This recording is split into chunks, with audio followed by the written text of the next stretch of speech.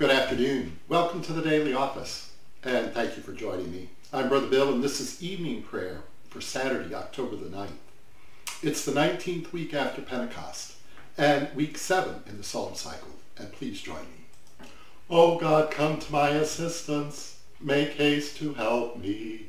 Glory to you, source of all being, eternal Word and Holy Spirit, as in the beginning, so now and forever. Amen.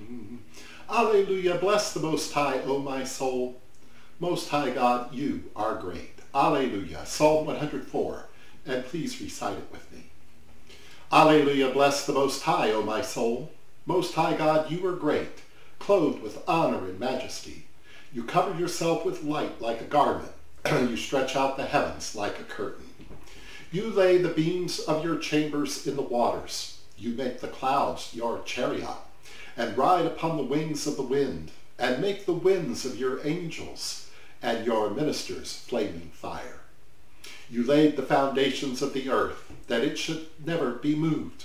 You covered it with the seas like a garment. The water stood above the mountains.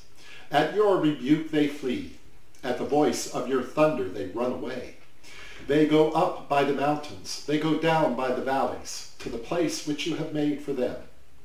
You have set a boundary which they may not pass, that they may never again cover the earth.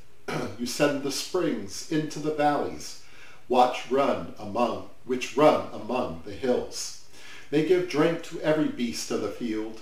The wild asses quench their thirst. By them shall the birds of the air have their habitation which sing among the branches.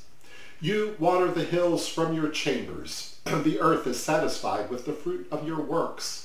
You make the grass to grow for the cattle, and plants for the service of the children of the earth, that you may bring forth food from the earth, and wine that makes our hearts glad, and oil to make our faces shine, and bread which strengthens our heart.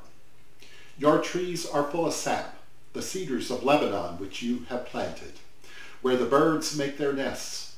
As for the stork, the fir trees are her house. The high hills are a refuge for the wild goats, and the rocks for the rabbits. You appointed the moon for the seasons. The sun knows its time for going down. You make darkness, and it is night, where all the beasts of the forest creep.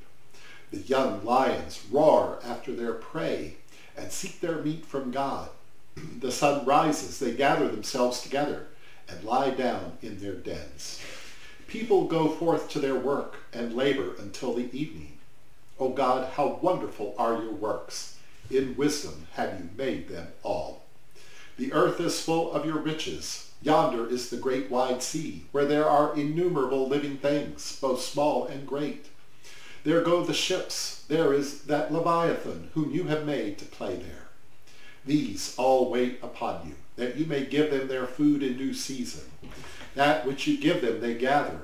You open your hand, and they are filled with good. You hide your face, they are troubled. You take away their breath, they die, and return to dust.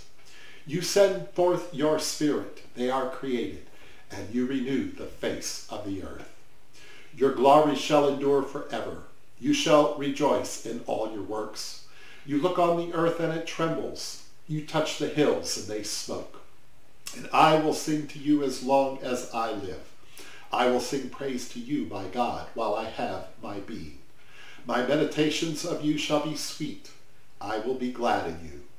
Let the sinners be consumed from the earth, and let the wicked be no more. Bless the Most High, O my soul. Praise God Most High.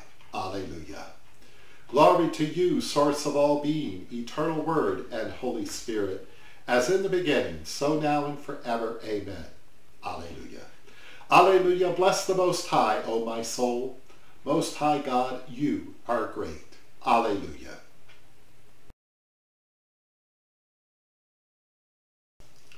A reading from the Holy Gospel according to Matthew, chapter 9, beginning at verse 35. The harvest is great, the laborers are few and the twelve apostles.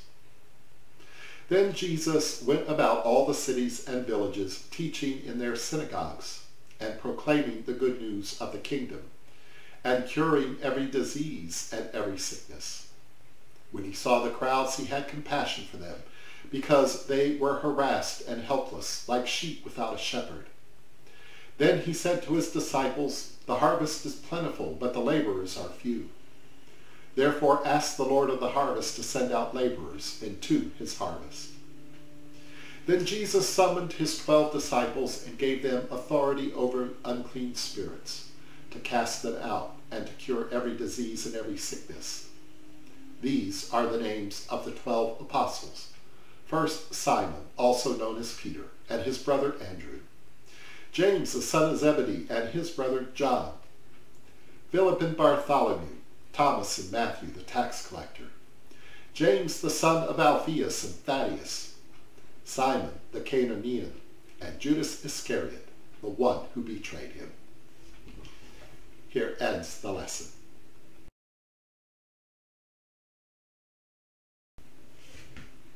Show us your mercy, O God, and grant us your salvation. Let your priests be clothed with righteousness, and let your saints shout for joy. In you shall we lie down in peace and sleep, for only you make us dwell in safety. Make us a righteous nation that keeps your truth, that we may glory in your judgment. Let your way be known upon the earth, your saving health among all nations. Let not the needy be always forgotten, nor the hope of the poor perish forever. Create in us clean hearts, O God, and renew a right spirit within us, and for all of your intentions.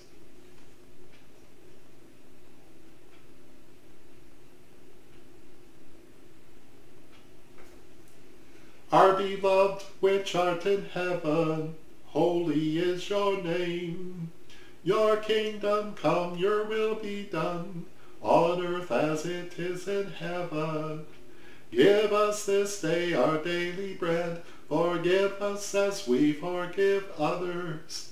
Lead us not into temptation, but deliver us from evil.